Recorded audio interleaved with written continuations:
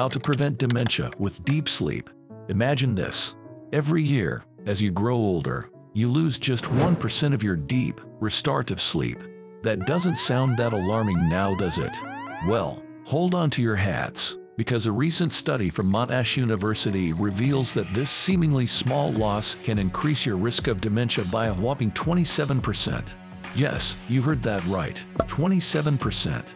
The study, led by Professor Matthew Pase, took place in Melbourne, Australia, and it might just hold the key to protecting your precious memories as you age. They analyzed 346 participants, all over the age of 60, who were part of the Framingham Heart Study. These brave volunteers underwent two overnight sleep studies, with about five years in between.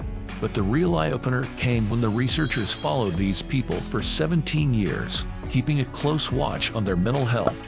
The results were astonishing. Even after accounting for various factors like age, gender, genetics, and medication use, every 1% decrease in deep sleep each year was tied to a 27% increase in the risk of dementia. But what is this magical deep sleep or slow wave sleep that could be the key to preserving your mind? Slow wave sleep is like a superhero for your aging brain.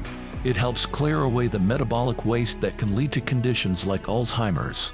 Until now, we didn't fully understand its role in preventing dementia, but this study sheds new light.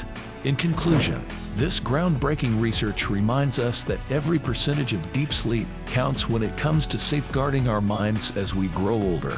Slow wave sleep might just be the superhero we need in the fight against dementia. So, if you want to stay sharp and cherish your memories, it's time to pay attention to your sleep patterns.